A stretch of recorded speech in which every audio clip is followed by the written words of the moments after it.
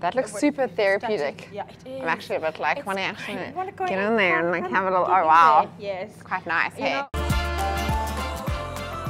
I'm going to be making a family favorite. We've got some flour. Stunning. I've got some butter. We're going to sift this, pinch of salt, add the sugar.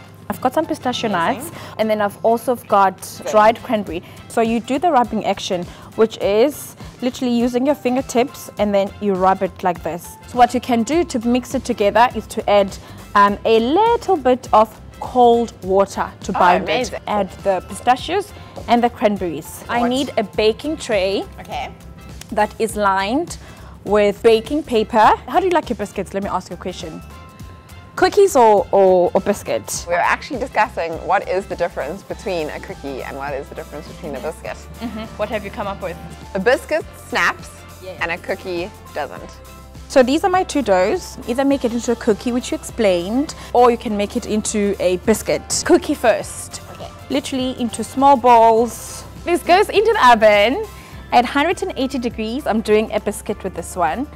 So place it in the center and then cover it with the second one. And then you roll it. It's better if it's thin because you're making biscuits. When I'm with my littles at home, we then shape it into different shapes. Zoom.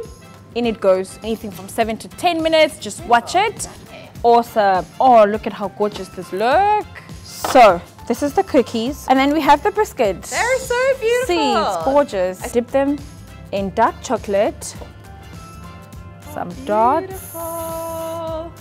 Should a picture? No, I want to eat it now. Oh, you can eat. I'm You done can waiting. Eat. Oh man! Oh Can I tip these? one? Oh my gosh, they're so worth waiting for.